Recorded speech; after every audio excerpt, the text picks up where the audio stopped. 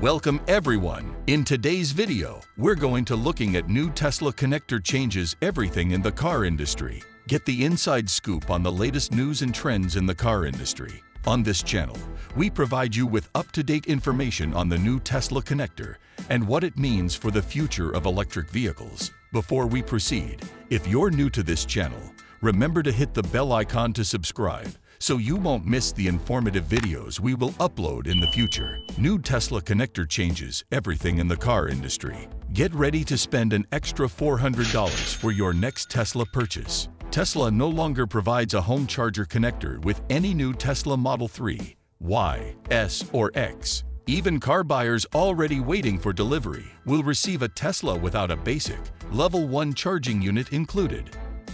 Over the weekend, Tesla CEO Elon Musk confirmed the change citing. Usage statistics were super low, so seemed wasteful. So every Tesla EV, which starts at just under $47,000 for the base Model 3, will scrap the included connector, which had a $275 value. The removal was effective immediately for all cars delivering after Sunday, after the connector was abruptly discontinued. Musk later announced a price reduction for the 110-volt home chargers from $275 to $200. Musk posted on Twitter, Based on feedback received, we will lower mobile connector price to $200 and make it easy to order with car. Charging your Tesla at home. For everyone who wishes to charge at home, Tesla now demands an add-on purchase from the Tesla online store, same to how Apple discontinued the iPhone power adapter and wired headphones with every transaction.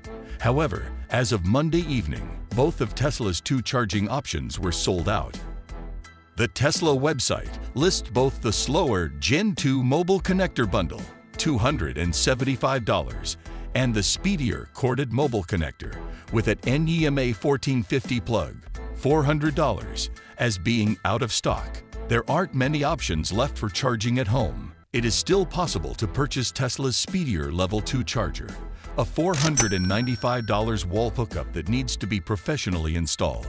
In Forbes Wheel's ranking of the best home EV chargers for 2022, there are also non-Tesla chargers from companies like ChargePoint and others. Tesla drivers can refuel while traveling at Supercharger, Destination Charger, and other public charging locations that are a part of the Tesla network. Why make charging harder? In making this choice, Tesla became one of the few EV manufacturers to stop including a home charging plug that can be plugged into any standard wall outlet. Additionally, the home charging plug is absent from Kia's EV6.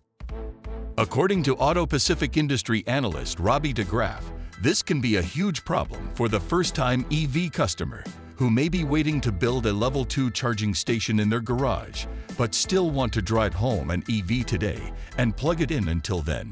I truly hope other established automakers don't adopt this strategy. Making the procedure as simple as feasible is necessary if we want to welcome people to EVs as a whole. On Twitter, a lot of Tesla owners expressed their anger with the changes to charging. Some complain that the removal discourages the use of EVs, increases range anxiety, and increases reliance on network charging stations. Others suggested providing a discount and opt-out option for individuals who don't require or desire the slow home charger. Given that level 1 charging cords aren't much of a cost at all to automakers to add to a vehicle, even for Tesla who we know obviously isn't short on cash at the moment, DeGraff called Tesla's decision a strange one. That's all for today's video.